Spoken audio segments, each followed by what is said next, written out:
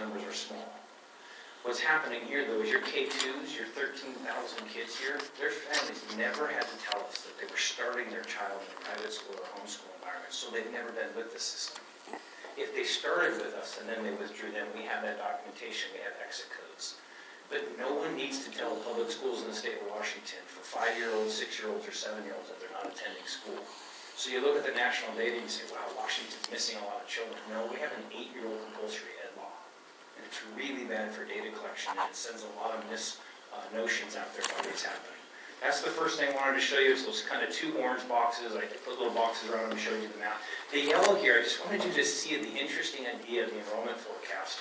2021 was our, was our, you know, almost fully remote year, we brought students back in that spring, but it was almost a fully remote year, you saw K uh, drop off by 12,000 enrollments, but look at that forecast through time as they age through the system. Essentially, the forecast council says you're gonna get them back. And that's not unusual, homeschool through usually age 11 or age 12, and oftentimes they return. What I want to point out, though, is the forecast never gets better for us. We are looking at eight to 10 years of the lower numbers that we're seeing today, because what's not evident here is declining birth rates. It's hitting the whole country. We've got about three or four more years of these really high graduation volumes, because those classes are, tend to be uh, high, pretty high, high volume.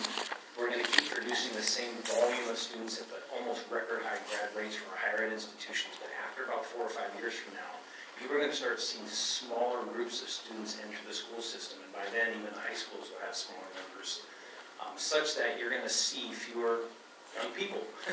it's just the demographic. It's just the declining birth rates. If I took you to that last column and I added up K through 5, you would see 100,000 fewer students than grades 6 through 12. 100,000 fewer students in the first half of our grade cycle than our second half, and they will age through the system.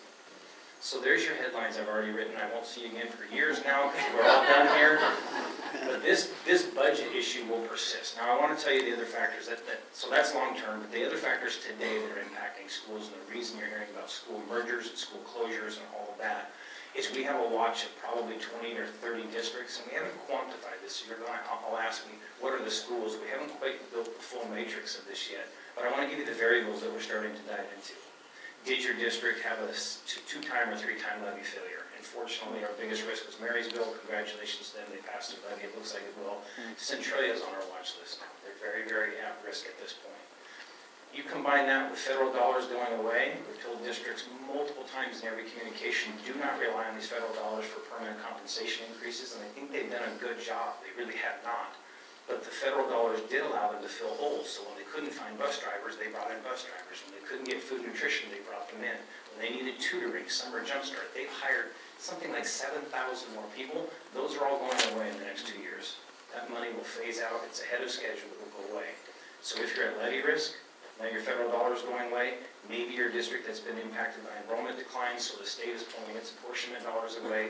Put a fourth variable on that, which is um, this legislature, four years ago when they passed the McCleary fix, air quotes, already designed it so that 30 districts in the state would have money pulled away every year. They gave them this big money for compensation. You all covered it brilliantly in your um, the news cycle.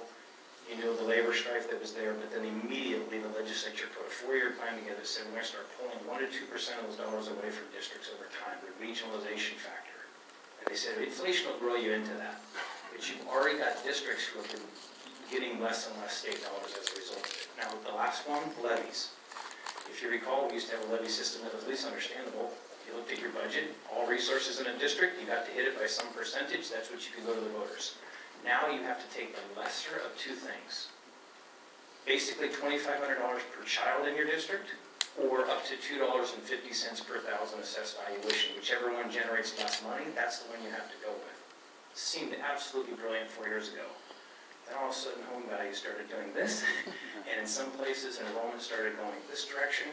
So two exact districts are going to be in a very different place in a year or two when they go back out to their voters. One gets to collect more money because valuations are up, and the other one has to collect less money because some of their enrollments haven't recovered. So we're putting this together. We're going to try to share this as much as we can over the next three to six months as we build models around these risk categories. Uh, we've got, like I said, two to three dozen districts that we already are concerned about. We have this binding conditions process where they go through an effort of showing their um, financial resolve, they work with their Educational Service District, and if necessary, OSPI gets involved in helping. That's the bad news story. The bad news story is this pandemic didn't just create a blip and we're all gonna bounce back. There's, there's underlying factors. The good news story is we came to this town this year and said, hey, this is a reality. We're not asking for money to make up for enrollments. Districts have to manage to this reality going forward. But what, you know, what hasn't always been funded? Special education services, 500 million or more. Student transportation movements. We've got a mental health crisis that is unprecedented in this country. Ask the average young people what they worry about. They worry about getting killed in their own school by gun violence, and they worry about the environment. And whether you like those issues or not, those are real for young people. It's damn real to them, and they want counselors and nurses and school psychs. And they don't want to have to wait six months on a referral. So we came to this town this year, and we asked the House and the Senate, yes, we're going to shrink in terms of our overall scope and size in K-12, that's understandable, we'll manage to it. But you've always had a problem funding these core services, so get after it. And right now, I'm not very optimistic. They're gonna throw a few bucks at these things, but it's as if the K-12 bucket is done. That's the troubling part right now. So we're gonna keep pounding the table. We're gonna keep trying to shore up the system so that the 1.06 million kids we still have, instead of 1.1 million, still get great services. But that's the challenge right now, is the perception that we're done with the pandemic and that schools are amply funded, and us saying, no, actually, they're not. The last thing I'll say is, some of you don't like it when I use these data, but uh, we are a state that's putting 3.1% of our GDP back in public ed. The national average is 3.6%. That half a percent is more than $2 billion a year. This budget would put $4 billion more in the next biennial cycle just to get K-12 to the national average investment level. And there's no formula for that. There's no mandate. I'm not suggesting the legislature will do that or necessarily should, but it's a metric to think about. Despite all the investments we've made, we still don't invest like the average state, and I think that's a little bit troubling. Finally, right after McCleary, we were fifty-one percent of the biennial budget. The next biennium, we dropped to forty-eight percent, the K-12 share of the near general revenues. And this budget looks like we're gonna be forty-four percent. We're gonna be right back to where we were pre-McCleary as a share of the state budget. And I'll be coming back over and over again to tell this story. You have questions, I have answers, if they're really hard. Just gonna answer them.